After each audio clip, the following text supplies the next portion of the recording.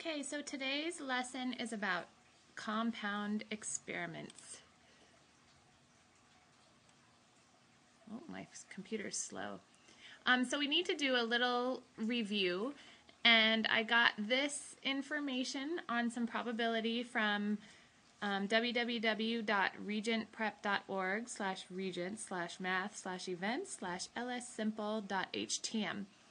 Um, and what it says is a single event, event involves the use of one item, such as one card being drawn, one coin being tossed, one die being rolled, or one person being chosen. So this is just a single event of probability, and you'll see why this is important in just a second when we get to the next page. So for example, what is the probability of pulling out a queen of clubs from a deck of cards? Well, there's 52 cards in a deck, and there's only one queen of clubs, and so the probability of pulling out a queen of clubs is 1 out of 52.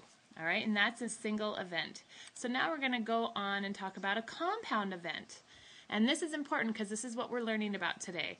A compound event involves the use of two or more items. So what's the probability of drawing like a queen of clubs and a queen of hearts out of a deck of cards? So two cards being drawn? Or rather than just flipping one coin, what's the probability of flipping three coins and the different combinations you can get? Again, two dice or four people being chosen. So again, a compound event involves the use of two or more items. Okay, now that's important. Okay, so here's an example, and this is right out of the book. A spinner with a sector A, B, and C is spun. So, ooh, where's my pointer? I had it out already. Okay, here it is. So here's our spinner. Okay, so there's three possible outcomes. Okay, so that's the first part. Then, what about drawing a marble from a bag that contains four red marbles and two white marbles? Okay, so those are our two, our two events. So this is our compound outcome. Okay, so let's visualize a possible outcome. So the way that we're going to do that is by drawing this little tree. So if we spin the spinner, we can get an A, a B, or we can land on A, B, or C. Now, if we pull out a marble, we can pull out a red marble or a white marble. So the different combinations are A and a red marble, or A and a white marble. And then again, another possibility would be landing on B and a red marble and B and a white marble. Okay, so this is just us visualizing it. And this diagram right here, this is called the tree. So we're going to come back to this a little bit later also. Okay. Now, the different compound outcomes are listed right here. So here's our tree. We're going to have, a again, A in a red marble, A in a white marble, B in a red marble, B in a white marble, C in a red marble, C in a white marble.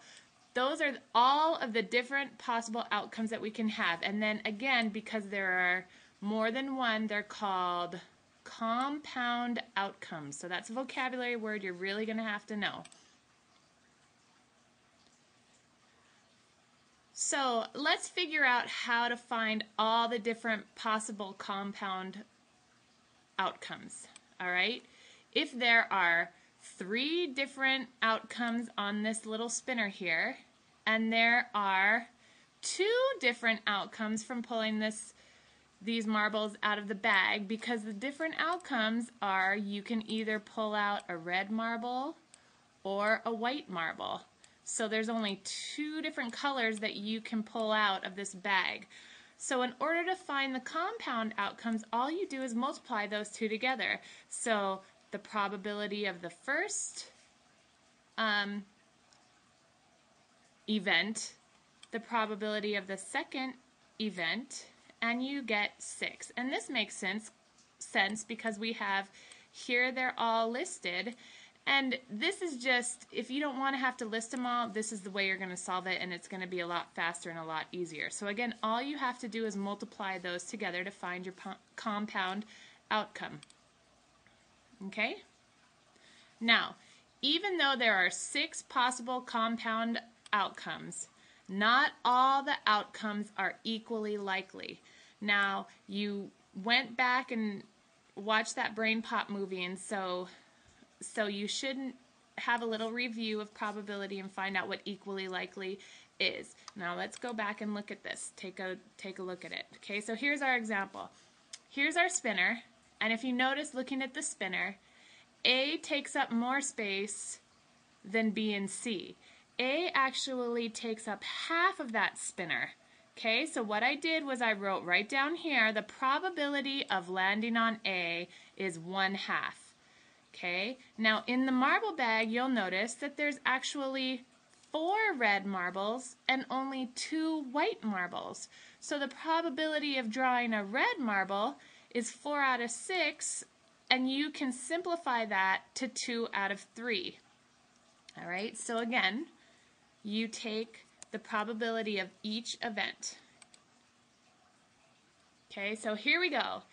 If the probability of landing on A is one half and the probability of landing on red is two thirds, to find the probability of the compound outcome, landing on A and a red marble, all you have to do is multiply the probabilities of each part. So I'm going to multiply 1 half times 2 thirds, and I'm going to get 2 sixths, which I can then simplify to one third. Okay, now let's do another one just to make sure that we're clear on this. Okay, so the probability of landing on A and drawing a red marble is one third. Okay, and do you like how I drew my little red marble out of my bag that I drew? Okay, moving on. Okay, here's our next one.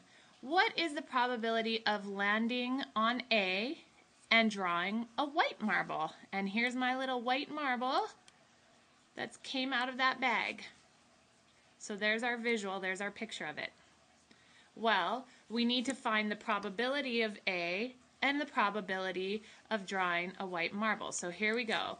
The probability of landing on A we already know is one half. I can I know that from previous and I know from looking at the picture. The probability of drawing the white marble is two out of six. Now I can simplify that to one third. So let me get my pen. So I can simplify that to one third. So all I need to do is multiply these across. So 1 times 1 is 1, and 2 times 3 is 6. So the probability of landing on A and drawing out a white marble is one sixth. Okay. Now on your worksheet that you're going to have to figure out, that you're going to solve a little bit later, I want you to figure out all of these different probabilities right here. Okay, and I did the first two for you, so you have that visual to go off of, and then I want you to find the sum of all of the probabilities. Now, your sum should equal one whole, or 100%. Okay, so that's just a little hint for you. Okay, so let's go back. Remember I said we're going to go back and revisit this tree. So this tree is something that's a really good tool for you to understand or for you to visualize all the different compound outcomes. So let's say there was something else that we were looking at. Like, what if you draw two times out of this marble bag? So you draw two times. What is the probability of each compound outcome? Now, when you draw the second time, you're not going to replace the first marble. So here, I'll show you an example of that. If I take out this red marble, oh shoot, I need to ungroup these. Okay, give me a second. Come on, computer, work for me.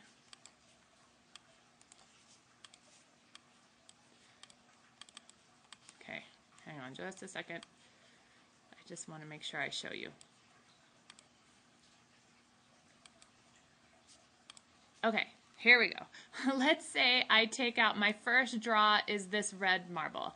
Now, this red marble, the chances of drawing this red marble again is, or drawing a red marble is 4 out of 6 because there's 4 reds and then there's two whites, so there's a total of six marbles in this bag. So if I take out this red marble, then if I draw another um, marble out, let's say, what's the probability of me drawing this white marble? Well, now I only have five marbles in this bag. So the probability of me drawing this white marble is actually two out of five.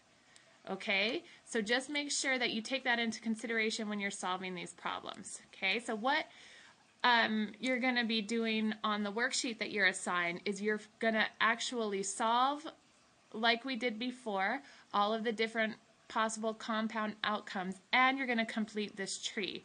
So again, on your first draw, you're going to draw either a red or a white. On your second draw, you're going to draw either a red or a white, right? Those are the only two. Okay, so what are the compound outcomes? Now remember, you can check your work by multiplying together all of the different possible outcomes for the event. So right here you would have 2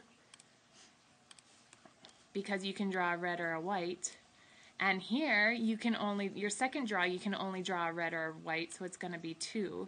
So 2 times 2 equals 4. So you should have four possible compound outcomes.